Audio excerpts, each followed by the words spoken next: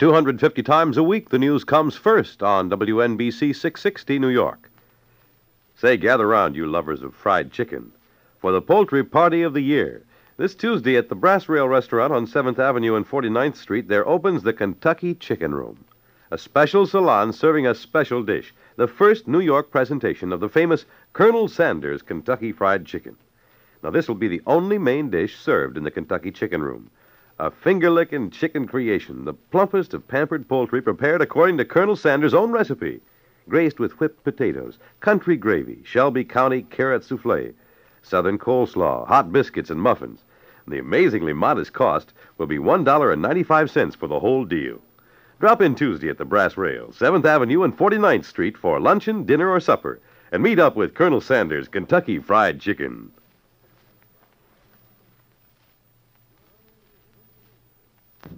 Journey into Nature.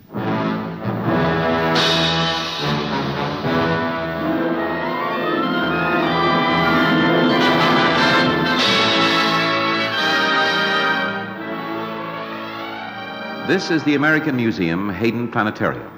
Above me are the dots of light that mark what is known of the universe about us, knowledge gathered for hundreds of years. It is from this point that we will begin our journey into nature.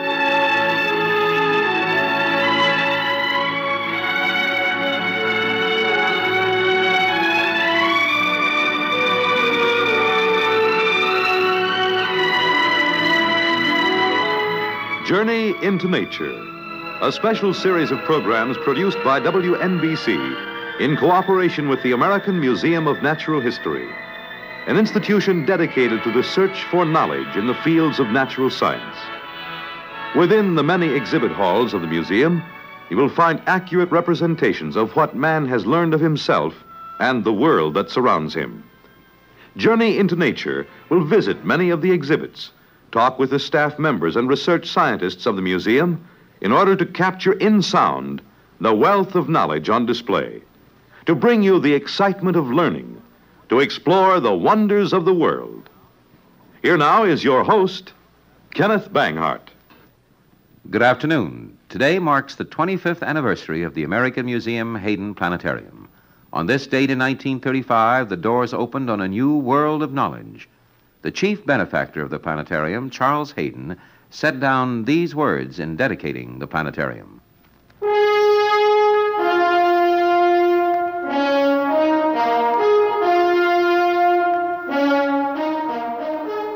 I believe that the planetarium is not only an interesting and instructive thing, but that it should give a more lively and sincere appreciation of the magnitude of the universe and the belief that a much greater power than man must be responsible for the wonderful things which are daily occurring in the universe.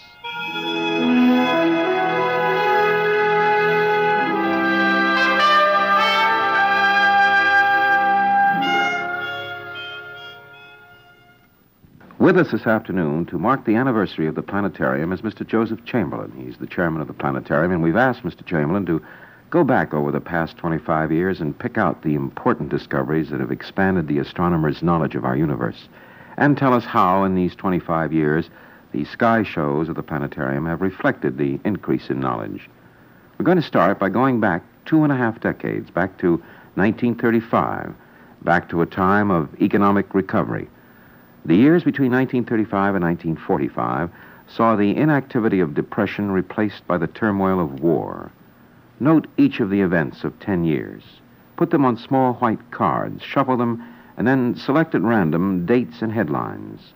1939, April 30th, and a World's Fair is opened in New York. The products of a century on display. The dreams for a decade to come erected in a New York meadow. Stuck to this card is another marked September the 3rd, 1939, the day World War II started, though few knew it at the time. Here's one labeled March 23rd, 1935. Amelia Earhart solos across the Pacific, one of the many feats performed with the airplane in the adolescence of its development. 1941, third term for Roosevelt. 1943, and a general named Eisenhower takes over command of Anglo American forces in Europe. August the 6th, 1945, the day a new age of man started in a blast of unbelievable heat and light. Events picked at random from a decade of the 20th century. The first decade for a domed building in the shadow of the American Museum of Natural History, the Hayden Planetarium. What were the changes in this decade seen by the staff and the visitors to the planetarium? Mr. Chamberlain, we're going to turn that question over to you. I think I could do the same thing that you have just done. Make a list of the special events in the sky or in astronomy which stand out in our planetarium history. For example, the year 1935, the year in which the planetarium opened, was the year of seven eclipses, which is the maximum number possible in any one year, and uh, doesn't happen very often. Um, the uh, opening of the McDonald Observatory in Texas came later in the 1930s. Almost every year there was the discovery of a, a new asteroid, and several of the satellites in the solar system have been known just since this planetarium opened. Uh, perhaps the most important of all the events of these 10 years was the releasing of atomic energy. Not that that specifically affected this institution, but it gave to all of science a new stature. And I think the planetarium, along with uh, science departments generally across the country, shared in this uh, new respect, in the conviction that, after all, the physicist and the astronomer was doing something useful, that he was able to devise schemes that would lead eventually to such things as uh, revealing the true nature of the atom and perhaps eventually of, of our being able to put it to some useful purpose. When the war came along, the, the planetarium's whole character had to change along with that of most of the country. Some 9,000 midshipmen were trained in navigation here, and I, I think that we can rightfully claim that the planetarium played a very significant part in the war effort. Uh, astronomically speaking, these were not really exciting years. The great discoveries were yet to come, and yet they were years in which many of our fine astronomers were working hard on, on many different kinds of problems, plugging away in astrophysics mostly, in a direction which uh, uh, came brought brought things to fruition just after the war. Also, during this first decade of existence of the planetarium, there were many attempts to provide uh, special courses for for adults, people who might be interested in navigation, astronomy, meteorology. Unfortunately, there, there was not the, the amount of interest that might have been expected. Several of the navigation courses succeeded rather well, and there were a couple of courses each year, but the, uh, the uh, American citizenry seemed to be much more involved in perhaps getting ready for the war after war effort, and uh, uh, in general, the, the activity within the planetarium uh, was not expanding too greatly. The uh, first sky shows were uh, extremely interesting because they they displayed to the many people who had never before seen a, a Zeiss projector uh, just what the capabilities of this fantastic instrument really were. As most everyone knows by this time, some 10 million Americans have visited the American Museum Hayden Planetarium and uh, many more in the other planetariums of the country. Uh, this is a, a building uh, 75 feet in diameter with a dome on the inner surface of which the skies are reproduced quite realistically. And it is the Zeiss planetarium projector that uh, is the agent which permits us to, to paint that sky picture. The um, instrument was on display for many years, and day after day, the show began with uh, sunset, the uh, lecturer proceeded to d- describe the many interesting features of the night sky, and the show ended with the sunrise. In the years to come, there was to be quite a change in that particular format. Does that cover now 1935 to 1945 to you satisfactorily? Well, I think we could say a lot more, but. Uh... well, let's let's go on then, Mr. Chamberlain, uh, to to 1946. Uh,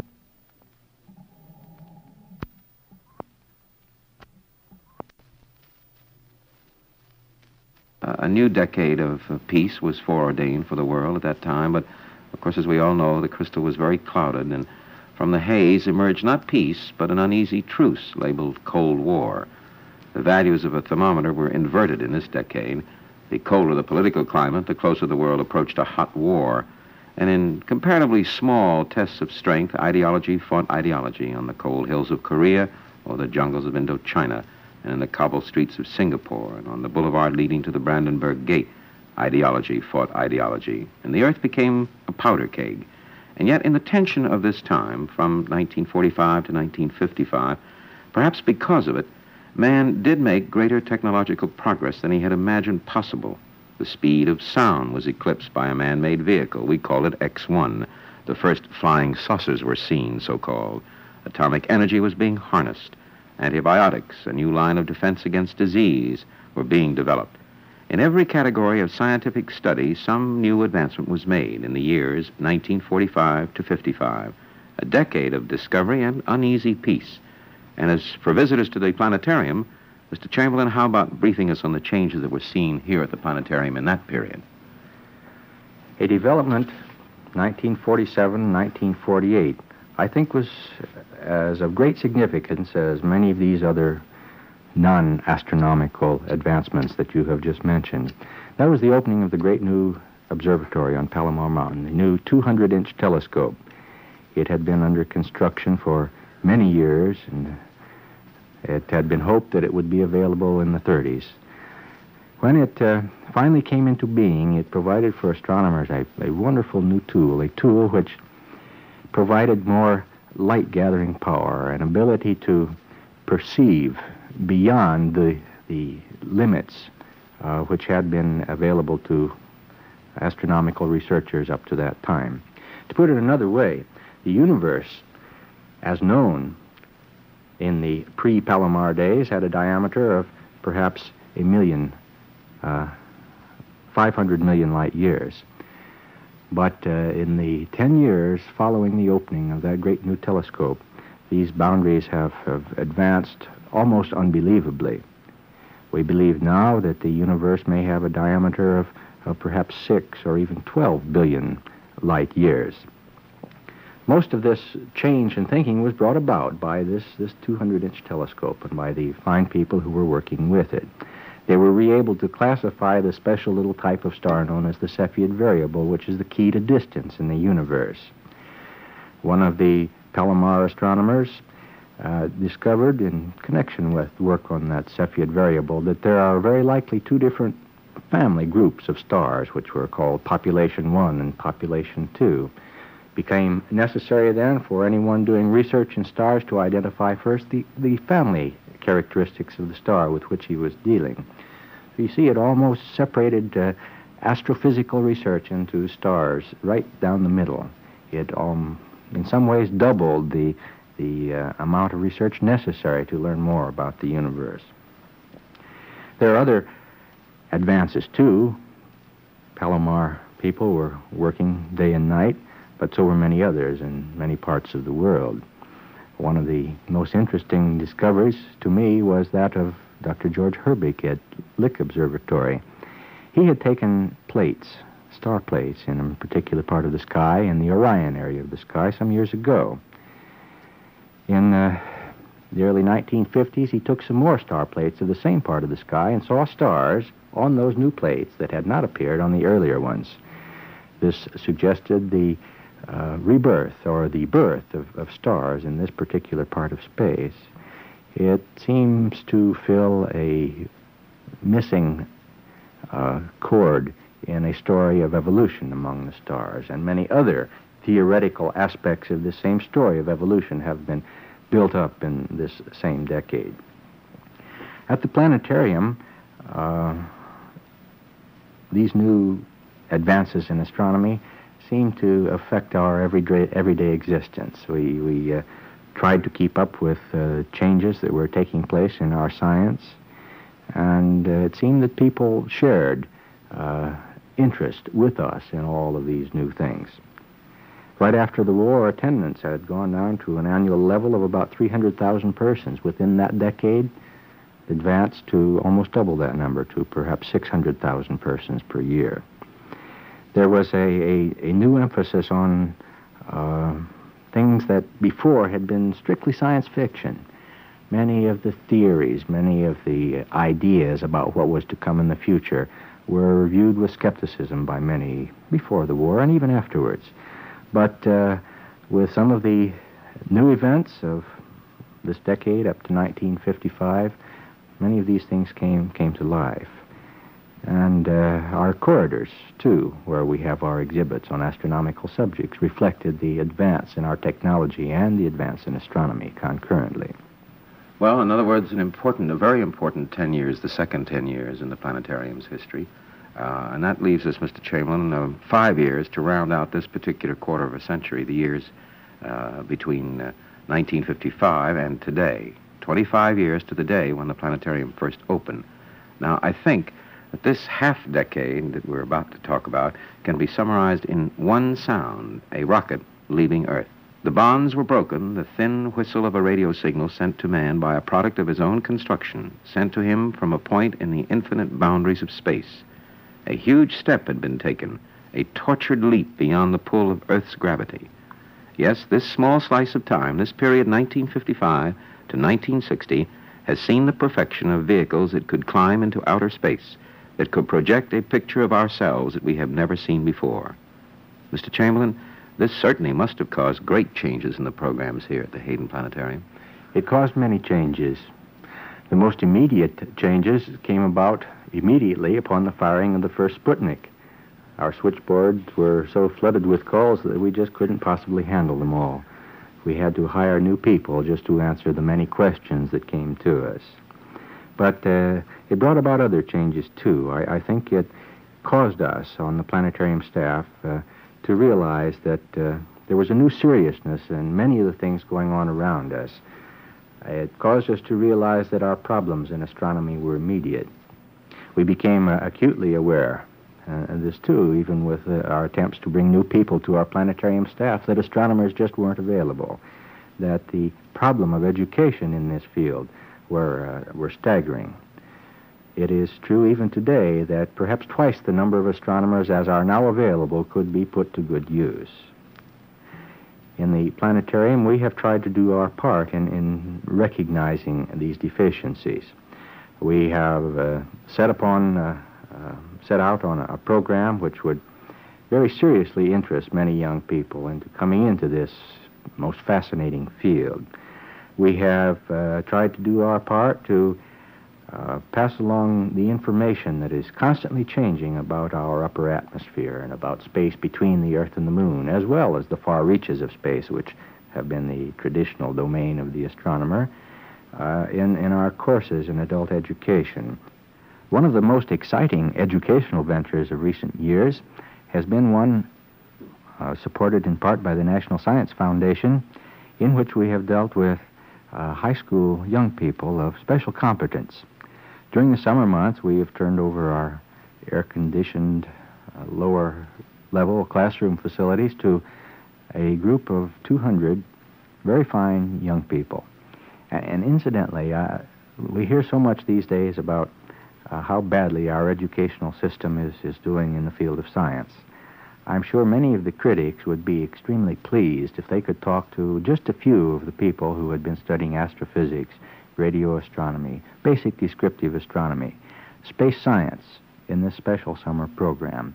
I know it has been heartening to everyone on the planetarium staff who has dealt with these high school people to realize how extremely interested they are in all that's going on in this field today. I, I believe, too, that we have uh, interested enough of these young folks in astronomy uh, that we can expect uh, quite a number of astronomers from among them, and of course that was one of our purposes. It's also been very interesting to, uh, to see the uh, reflection of interest in boats here at the planetarium.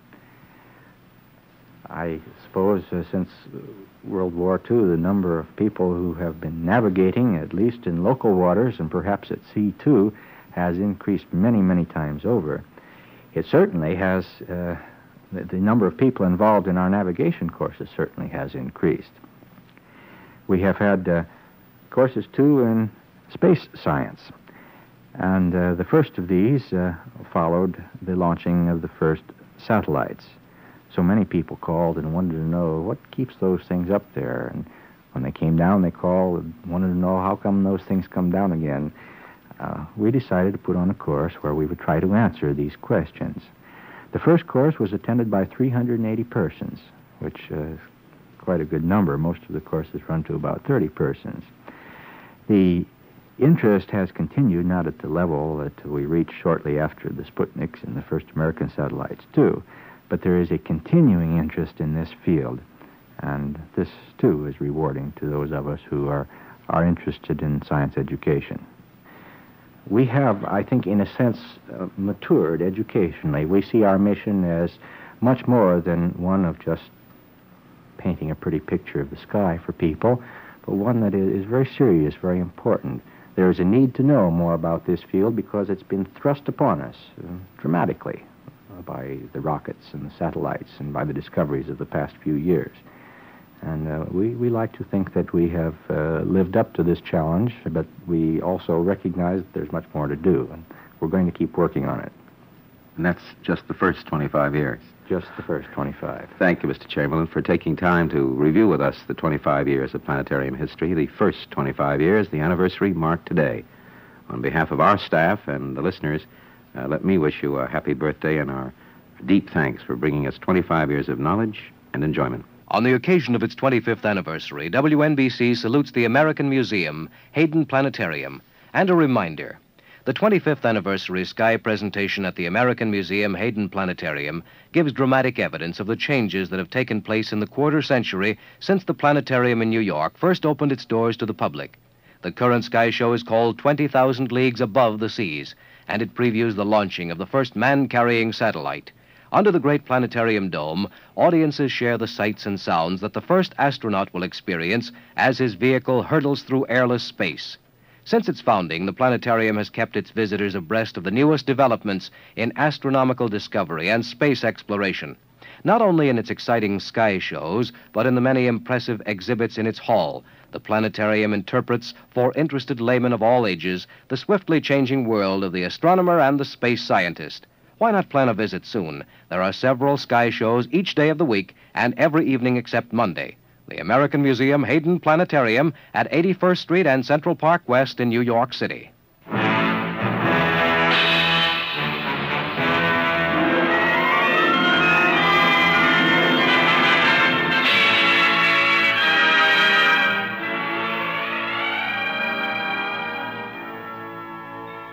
Journey into Nature has been a special program produced by WNBC in cooperation with the American Museum of Natural History.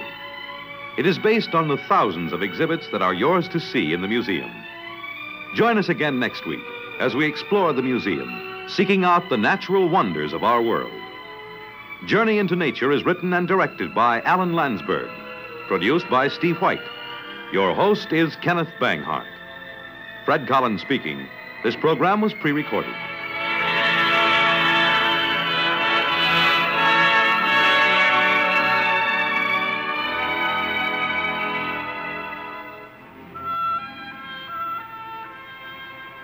Next Sunday, because of the broadcast of the 1960 World Series, Journey into Nature will be heard at 11:35 a.m. That's 11:35 next Sunday for Journey into Nature.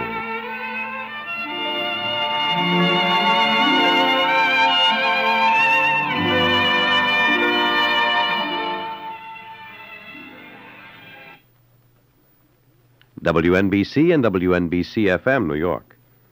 How would you feel if you had to be separated from your children and had to trust to the kindness of strangers to look after them? Many parents are in that heartbreaking position through no fault of their own, because of illness or accidents.